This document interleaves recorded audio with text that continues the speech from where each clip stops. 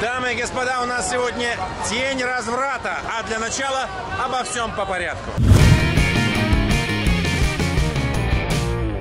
Вот в этом вот здании находится ресторан. Довольно своеобразный ресторан, куда мы сейчас и пойдем. Почему он своеообразный, увидите. Боже, опять, Женщина опять вы, опять вы. Здравствуйте. Ой, случайно. Опять случайно в лифте, да. Ну как так? Нечаянно. Мало ресторанов в Бангкоке, куда сходить.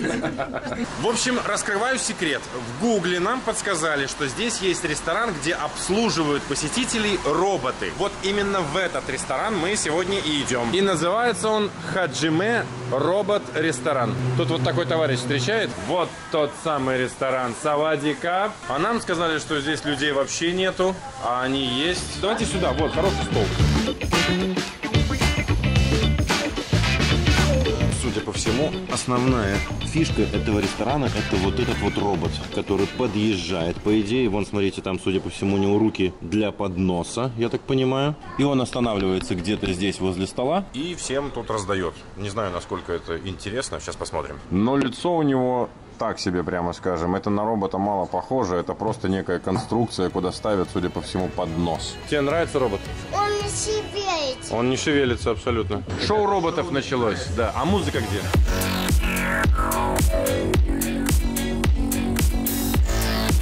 Кто-то им должен управлять где-то. Сидит женщина, обычная в фартуке, и управляет.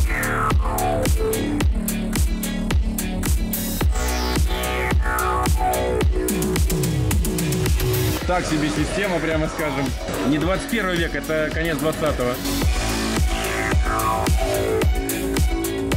Обратите внимание, людей нет вообще. Мы здесь единственные. Вот именно, скорее всего, из-за этого.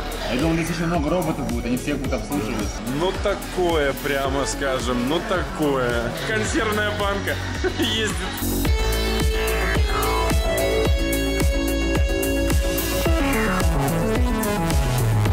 Он еще и позировал. Это он типа вот так уезжает. А я нашел ту девушку, которая управляет, кстати, роботом. Вон она стоит в углу. Вон там, он только что стояла.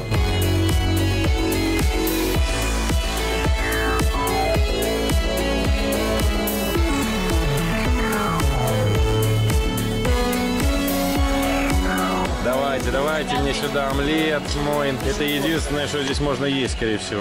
Можете мне объяснить, почему ложка на вот для омлета? Вот, дамы и господа, вот это, вот смотрите, видите? Еда из трех блюд. Еда из трех блюд, наверное, самая нормальная здесь, потому что Виталик то, что поел, что-то ему не понравилось.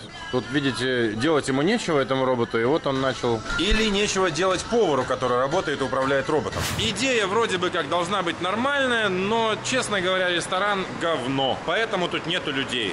Еда так себе, не стоит она тех денег. Роботов как таковых здесь нету. Есть какое-то непонятное конца 20 века вот это чмо. В общем, мы не советуем его абсолютно. Мы решили все-таки прийти в то место в, э, в Бангкоке, которое славится не менее Каусан Род. Называется это Ковбой Род или Сой Ковбой.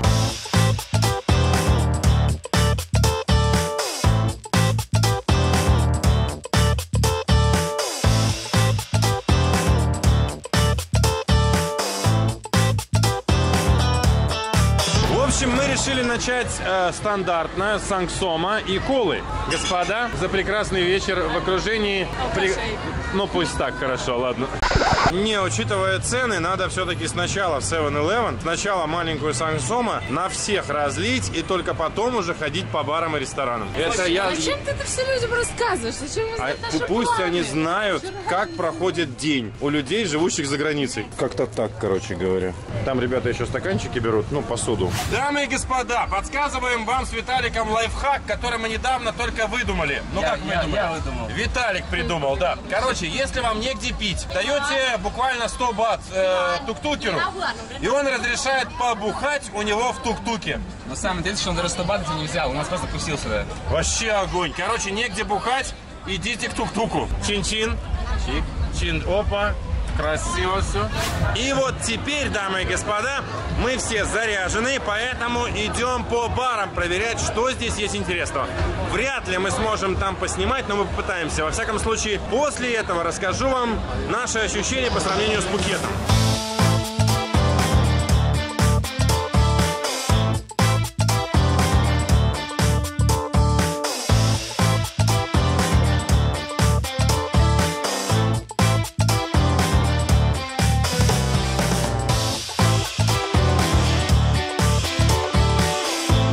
Короче, дамы и господа, э, если кто-то захочет действительно провести мужики именно, кто хочет хорошо провести время, обязательно приходите сюда. Прикольно именно в том смысле, если вы хотите, ну, скажем так, хорошо провести время и недорого. Примерно на один shot девушка здесь стоит около 1000 бат, плюс 500 бат. Это комната, которая есть практически в каждом клубе. Blowjob, давайте так это назовем, стоит около 700-800 бат. Причем, что интересно, вот вы увидите, например, меню, там написано Blowjob 165. Это коктейль, но это как бы намек. Вы берете этот коктейль, и потом можете договариваться уже на реальный блоуджоп.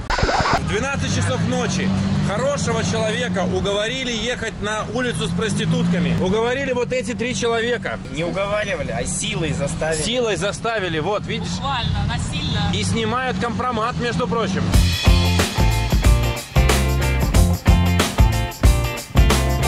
Вот, мы приехали на новую улицу, но здесь почему-то очень тихо, странно. Девочки сидят, ждут, ждут клиентов, закрываются от камеры. Непонятно, почему закрываются. В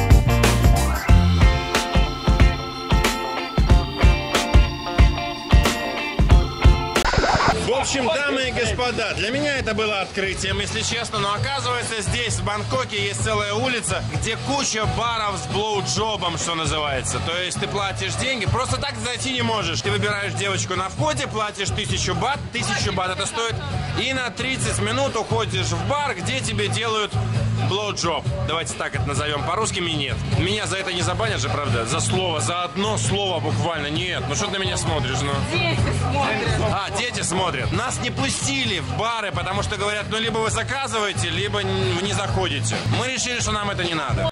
Собственно, последний день нашего путешествия был посвящен делам. Делам важным, делам нужным. Именно в этот день так совпало, что мне нужно было продлевать мою визу. Ну а раз мы находились в Бангкоке, пришлось именно в Бангкоке ехать в миграционный центр, чтобы исполнить сие намерение.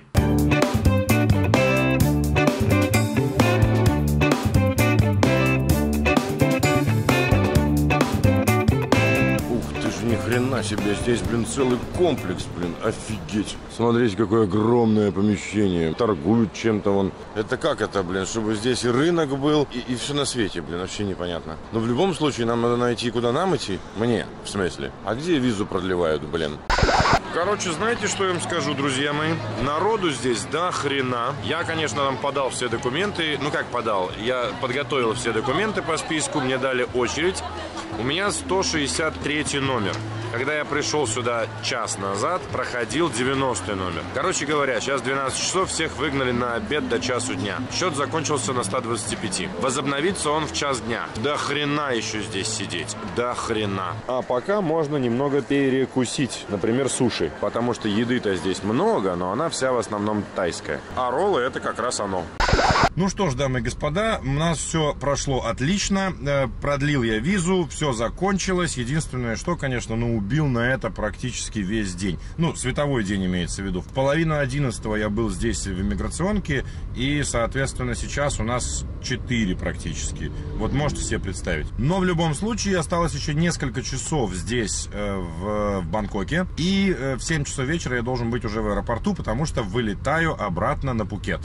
В общем, дамы и господа, на самом деле ничем мы не смогли заняться интересным и полезным, никуда мы не поехали, потому что времени уже не оставалось. И, в общем, так, перекусили немножко, и я решил ехать в аэропорт. Короче говоря, я в аэропорту Дон Мэнг в Бангкоке, и сейчас надо регистрироваться и лететь на Пукет. Блин,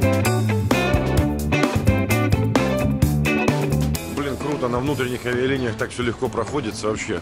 Элементарно, быстренько, тын тын тын все, ты свободен, ты гуляешь. Ну и, естественно, по традиции, мой гейт самый последний, 78-й. Ну, то есть топать мне до хрена. Как всегда, есть в жизни что-то хорошее, есть в жизни походы в последний в дальний гейт.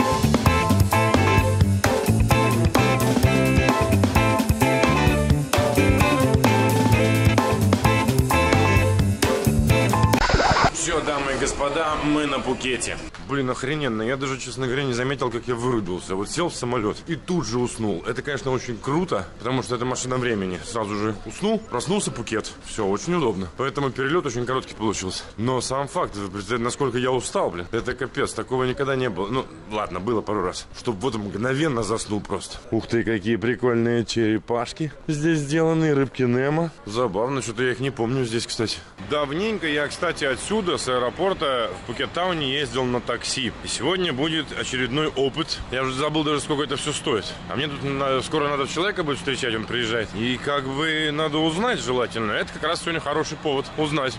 И, конечно же, пытливый какой-нибудь ум спросит Макса, почему ты не используешь граб. А все дело в том, что на Пукете граб какой-то очень дорогой. И не то чтобы прям очень выгодный. Граб до моего дома стоит 900 бат. Давайте узнаем, сколько это будет стоить вот в такси обычном. 700. Very good. Okay. 700 бат, господа. Чувствуете разницу? Grab 900, а обычное такси 700. Ну и на этом, пожалуй, все. Не забывайте подписываться на канал, ставить лайки. И не забывайте, что у нас есть еще один канал, где мы обсуждаем свежие, важные, интересные и забавные новости на канале Болталка News. Ссылочка, естественно, внизу под видео.